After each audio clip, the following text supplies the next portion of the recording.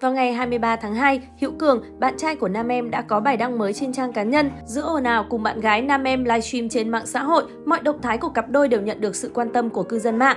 Anh chia sẻ việc người đẹp nam em bị hủy show vào ngày 27 tháng 2 sắp tới vì ồn ào trong thời gian vừa qua. Cụ thể, Hữu Cường nhận tin nhắn từ phía đối tác với nội dung buộc phải hủy show với nam em. Lý do được đưa ra là vì trong show diễn có một số nghệ sĩ khác họ đưa ra yêu cầu, yêu sách là không muốn nam em có mặt.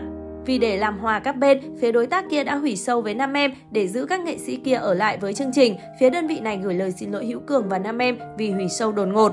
Được biết, bạn trai nam em hiện là quản lý, đồng hành cùng cô trong công việc và cuộc sống. Trong livestream gần đây, bạn trai nam em gây bất ngờ khi đề cập đến tiền cát xê của cô trong mỗi show diễn. Anh cho biết mức giá để cô hát ở Hải Phòng là 100 triệu đồng, thấp hơn không nhận.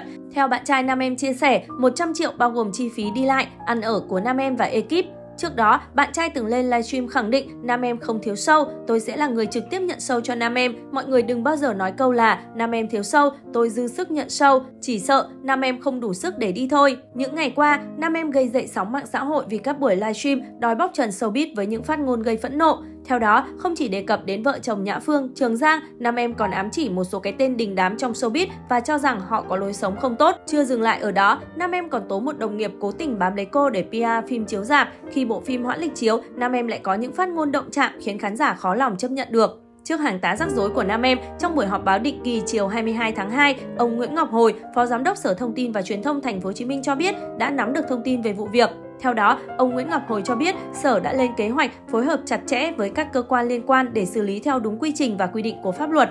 Muốn xác định hành vi vi phạm phải có một quy trình và sự tham gia của nhiều cơ quan chức năng có liên quan. Khi nào có thông tin mới, chúng tôi sẽ cung cấp cho các cơ quan truyền thông. Đây có thể xem là hồi chuông cảnh tỉnh với những hành vi rạch mặt ăn vạ online của nam em trong những ngày qua trước khi đối mặt với những hậu quả nghiêm trọng hơn. Nam em sau đó đã đăng bài xin lỗi và thừa nhận bản thân không đủ bình tĩnh, có những lời nói thiếu suy nghĩ làm ảnh hưởng tiêu cực đến mạng xã hội.